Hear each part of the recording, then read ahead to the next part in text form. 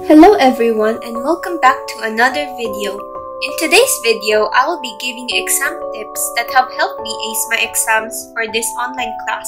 So, let's get started. The first exam tip is to experiment with different study methods. Different subjects require different study methods. For example, in physics, you would spend more time doing practice problems rather than memorizing information like what most people do in history class.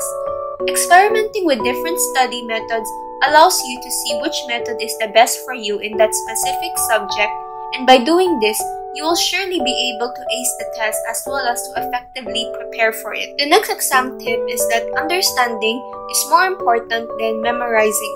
We usually just blindly memorize information when studying for exams, and this is not good as not only will you forget information after the exam, you will also waste more time and energy memorizing information after information rather than trying to understand what the information is all about.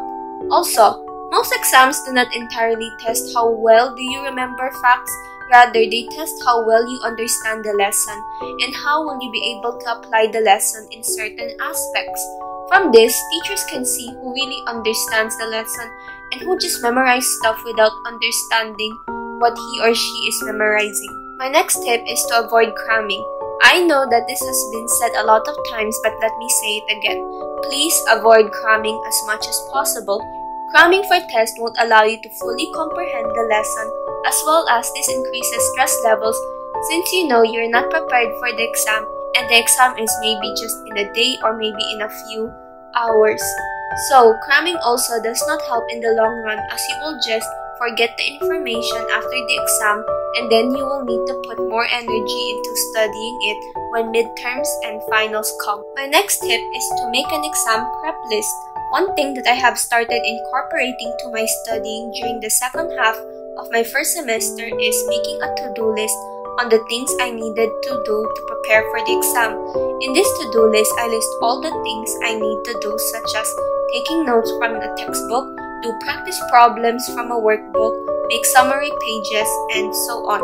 Then, I also schedule when should I accomplish these tasks and this helps me to study ahead of the exam to avoid cramming as well as this gives me a structure on how should I prepare for this specific exam. Try this out and I am sure this will surely help you prepare effectively for your exams. Next is to listen to your teacher during classes. I find that when I listen to my teacher, my teacher sometimes stresses on certain parts of the lesson, and when it was exam time, I find the parts of the lesson that my teacher stresses have the most points in the test. So, listening to your teacher during class will allow you to know which part of the lesson the teacher wants you to focus on in studying. Sometimes the teacher may be subtle in this, but there are other teachers who would directly tell you what to focus on, so make sure to pay attention to not miss it. My last tip is to relax yourself before the exam. I think this tip is not that commonly used by everyone, but I think this is such an important tip to give. If you always keep stressing yourself or always thinking about the exam, you are bound to get anxiety over it, and as such, on exam day, you will not be able to concentrate on the exam and this could lead to you getting low marks.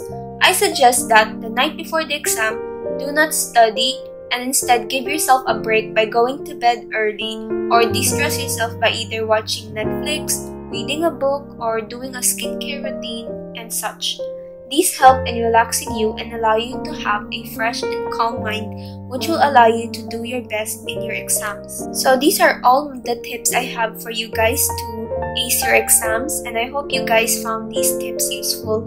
And do comment down below your number one exam tip that helps you in your exams. Good luck to anyone who will be having exams, and I will see you guys in my next video.